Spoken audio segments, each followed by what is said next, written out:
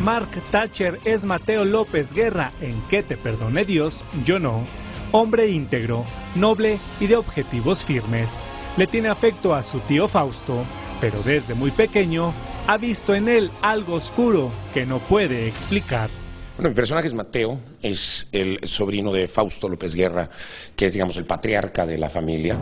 Y mi personaje es un personaje que siempre fue apoyado por él, siempre estuvo cuidado por él y siempre estuvo restringido por él, siempre estuvo muy, muy este, amarrado, ¿no? Tanto así que le escoge la escuela, le escoge la carrera, lo manda a estudiar fuera, lo regresa, pero siempre lo ha mantenido, siempre lo ha apoyado, a su mamá también. Mateo crece con una ingenuidad ante la vida completamente inconmensurable, porque no puedes creer que mi personaje no se dé cuenta de las cosas que empiezan a suceder a su alrededor. Su propósito es convertirse en un médico respetable.